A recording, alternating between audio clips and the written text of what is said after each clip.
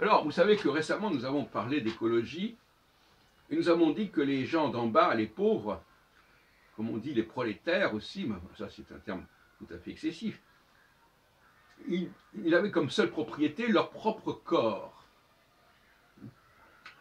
Et c'est ça qui fait l'écologie. L'écologie, c'est se venger contre ceux qui ont des biens. Sont que ceux qui ont accumulé des biens, des moyens de production, la richesse, ce sont des biens extérieurs. Euh, le livre, même écrire des livres, c'est déjà un bien extérieur, euh, alors que parler, bon, parler, c'est très démocratique. C'est d'ailleurs pour ça que nos cafés philo au McDo sont très démocratiques, puisqu'on est dans la parole. Mais en même temps, la parole, euh, socratique d'ailleurs, maïotique, est un piège, parce que euh, finalement, d'abord, on a remarqué que dans les cafés philo McDo, les gens, même dans mes cafés, ils ne s'écoutaient pas forcément entre eux. vous savez, quand les gens parlent, quand, quand on donne un texte à, lire à quelqu'un, généralement, il le comprend, ce texte. Quand, on, quand il doit, on doit le faire, si on devait lire ce texte à voix haute, il en comprendrait 10%. Les, la parole est un, support extrêmement euh, euh, précaire et insuffisant, aussi précaire d'ailleurs que la situation financière euh, des gens qui sont en bas de l'échelle. voilà, donc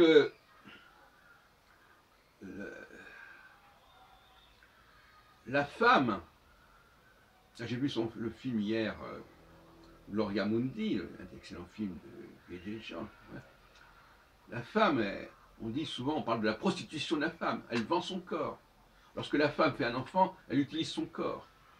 Elle n'utilise pas de choses extérieures. Dans ce sens-là, elle est très écologique. Elle parle beaucoup.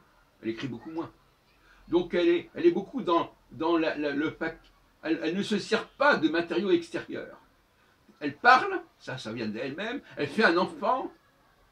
Elle fait l'amour elle est dans la femme est par excellence écologique. Et donc l'écologie est par excellence féminine et féministe.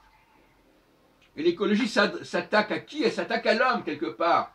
à celui qui pollue, celui qui fabrique des ouvrages, qui fabrique des monuments, qui, laisse, des, traces. Alors que la femme, elle, elle ne laisse pas de traces finalement, c'est son drame.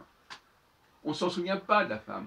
On, dit la femme, les femmes, mais on ne se souvient pas d'une femme en particulier le nombre de noms propres, si vous prenez, c'est quand quelqu'un connaît des noms propres, vous verrez que 90% des noms propres qu'il connaît sont des noms d'hommes.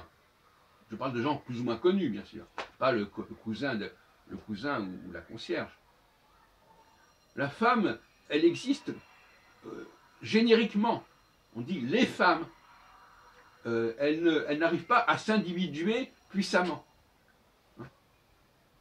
parce que justement, elle est du côté de l'écologie, elle est du côté de ces gens qui sont dépossédés et qui n'ont plus que leur parole, qui n'ont plus que leur corps pour exister.